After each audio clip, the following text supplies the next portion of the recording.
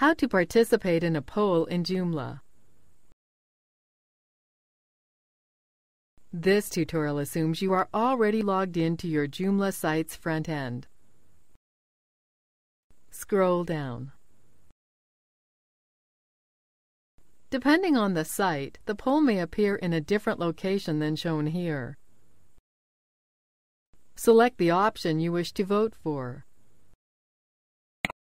Click Vote. The poll results will be displayed. Scroll down. That's it! You now know how to participate in a poll in Joomla.